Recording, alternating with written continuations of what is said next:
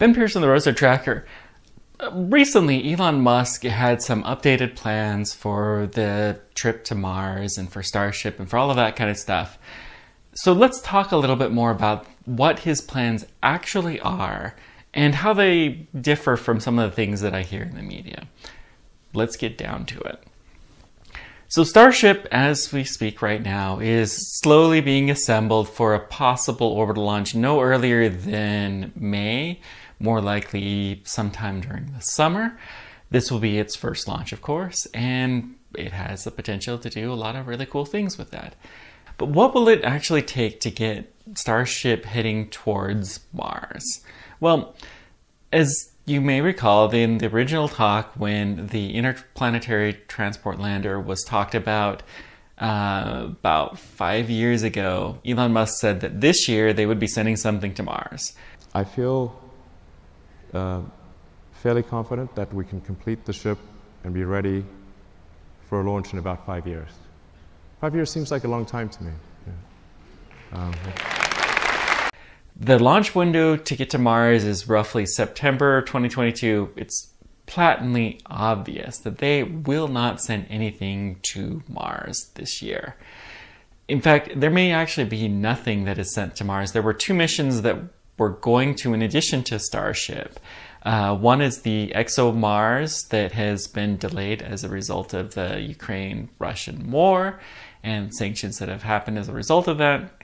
And the other one was a uh, university was going to send a mission to Mars on their own budget as a separate mission to the Psyche mission that was going to head out there anyways. But uh, that also is not going to happen. So none of the missions are going to happen. For the first time in a while, I think we're not going to have any missions launching towards the planet Mars. And this may be the last time actually this ever happens. Time will tell. Elon Musk's plans have largely been in three phases, two of which have been talked about publicly. The one that gets the most attention is the final futuristic version that's 40 years down the line, where we're able to send a million people to Mars at a cost of about 200,000 per person.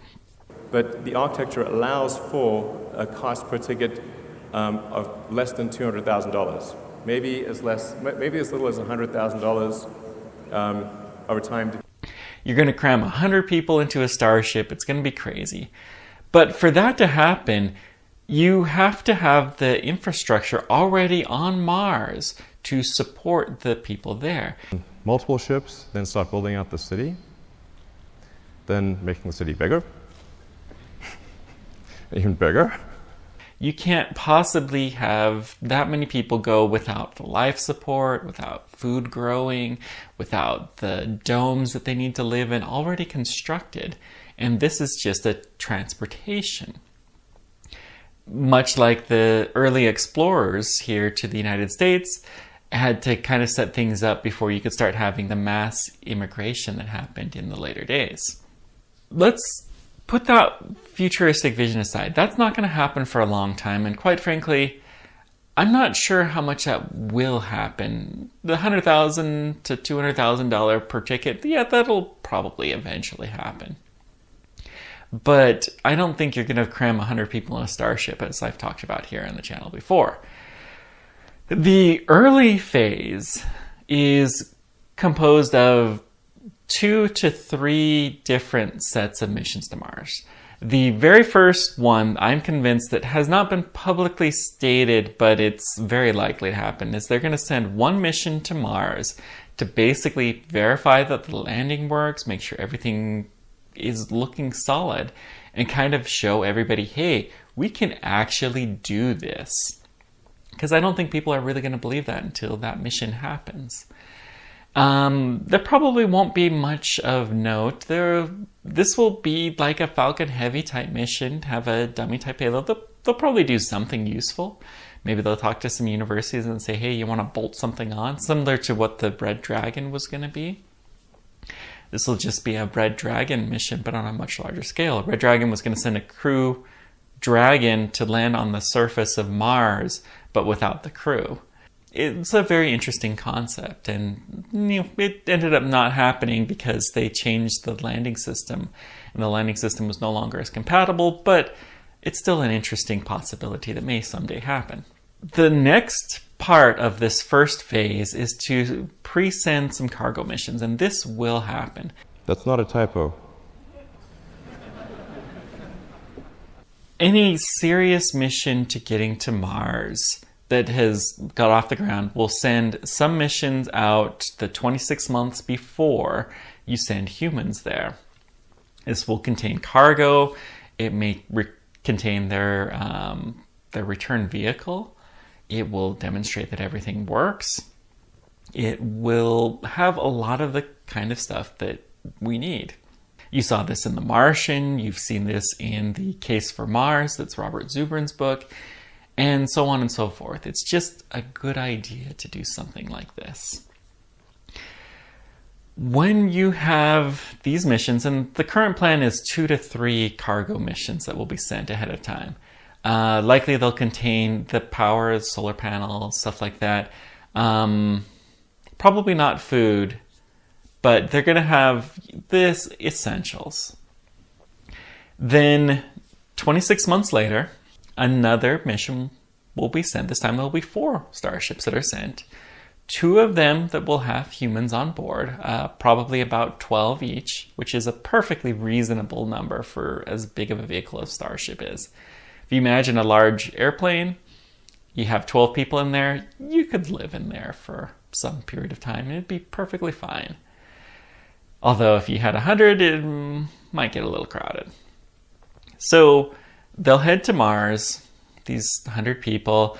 They will be setting up the means to get back to Earth. They're going to have to set up a in situ resource utilization factor. So basically, they're going to make their own rocket fuel to be able to get back to Earth. It will take a lot of power to do that. And I don't think any more than one of those initial vehicles is ever going to come back to Earth, of the initial seven or eight or however many they send.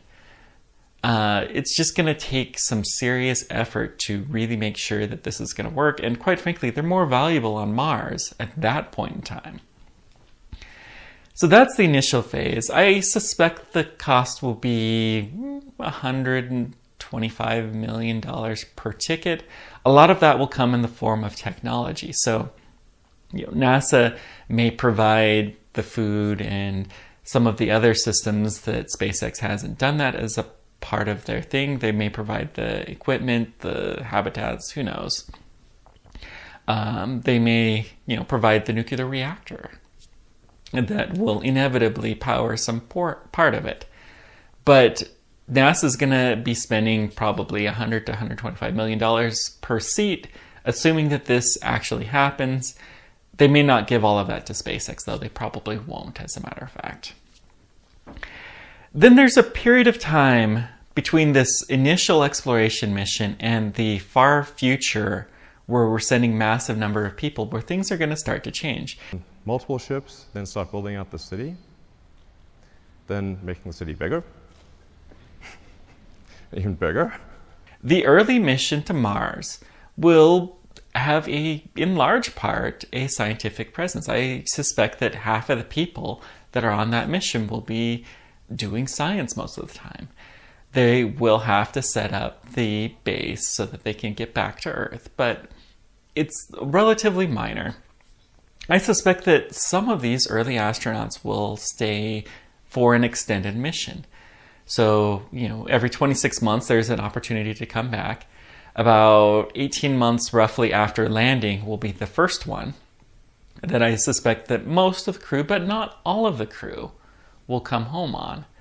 And some of those people will stay. They'll be on Mars kind of by themselves. They'll probably be enjoying having the habitat and lots of space to go rummage around while the people will be more crammed than they ever were on the return voyage home because only one of the starships is going to have. So if 18 people are on there, it'll still be a little bit crowded, but you know, it's doable. And they could take all of them home if they really needed to. Um, they're going to continue to do the science research, but they're going to start to slowly expand. And quite frankly, SpaceX may send some people there to build a habitat.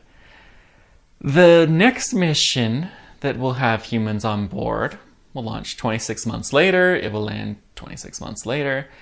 Uh, it'll probably be about twice as big, and the cost per seat will go down in half. They're going to land on Mars, and they're going to have some infrastructure already there. There'll probably be about 50 people there. Um, probably in three or four different starships. I, I don't suspect that they're going to get to more than 20 or so people per starship heading towards Mars for a long time. But you know, maybe there'll be 60 people in three different starships. That seems reasonable. These missions will start to expand out. They're um, going to be focused on getting more useful stuff. So the early in situ resource utilization will be focused on rocket fuel. And that still will be a primary thing. But they're going to start to get oxygen, they're going to start to figuring out water. Uh, the plans for SpaceX to land are on the north part of Mars where they'll have access to water. So they'll start to focus on that a lot more. Whereas the first mission, they may even bring their own hydrogen to make the home. They may take a bunch of water and slowly, you know, cycle it out to have some oxygen and use the hydrogen to power it. The um, methane is the fuel of choice for getting to and from Mars. You can get oxygen from the atmosphere because there's carbon dioxide, and you can turn that into oxygen with just some electricity and some fancy reactions. It's nothing too terribly hard to do. But with Starship, you know, the, the hydrogen's a little bit harder to come by. Uh, the easiest way is in the form of water. So they'll start to mine water. They'll start to mine other useful materials. Maybe they'll start to make iron, um, start to make steel on Mars so that they can build some larger structures. Because eventually the starships are not going to be their permanent habitats they want to start building stuff on the surface of Mars, and that's going to be the time frame where that happens. As each mission goes out, I expect that the number of people is going to double, and the ticket price is going to be cut in half to make that happen. It may even triple or quadruple, who knows? But the cost is going to start to decrease pretty rapidly. Uh, 10 years out, it's still going to cost at least a million dollars per seat to get to Mars. But when you get there, you may have to purchase some land, but you'll be able to purchase a life supported bunker and you'll be relatively okay. It's gonna start to become easier. You're gonna start to have corporations that will send people out there to be able to build things out. And it's gonna take some time. The earliest phase is going to be the astronaut class of people, the people who have been astronauts, who are, currently doing that. We have had over 600 people go into space. I guarantee you, you could ask almost any one of them, hey, you want to go to Mars? And they'll say yes. They'll say, oh, there's a 20% chance that you'll die. I'm like, oh, okay, I'll still say yes the vast majority of them. And, you know, it will be risky. The middling missions is going to be a really interesting thing. I start to, I suspect that we're going to start to see some industrialization in low Earth orbit. Uh, there are a lot of concepts for building space stations out there. Uh, we're going to start to see those. And, you know, when we start to see more people, when the cost goes down, a million dollars per seat into orbit in 10 years is probably not unheard of if Starship proves to be real, um, proves to meet everything. In fact, you may even be able, in 10 years' time, for a couple hundred thousand dollars, get a seat into orbit. And that opens some really interesting possibilities. There's a lot of things that we can manufacture in a low gravity environment that you simply can't do while you're on the surface of Earth. And with the industrialization that will likely happen, we're going to start to see people going there. Some of these people will also head to Mars. I suspect that in the early days, in the, the kind of phase two operations, the people who are going to go there are the people who would apply to be astronauts but don't get qualified for one reason or another. And you know, the last time that they sent out applications for astronauts, there were tens of thousands of people who were doing that. They're going to have no shortage of people who are interested. And as it's proved to be safe, people are going to be willing to do it. It'll be a real interesting time for sure. Uh, thanks for joining me. Let me know whatever questions or comments you guys have. I'm really interested to hear what you, what kind of feedback we have. Thanks for everything, guys, and until next time, keep on tracking. Take care.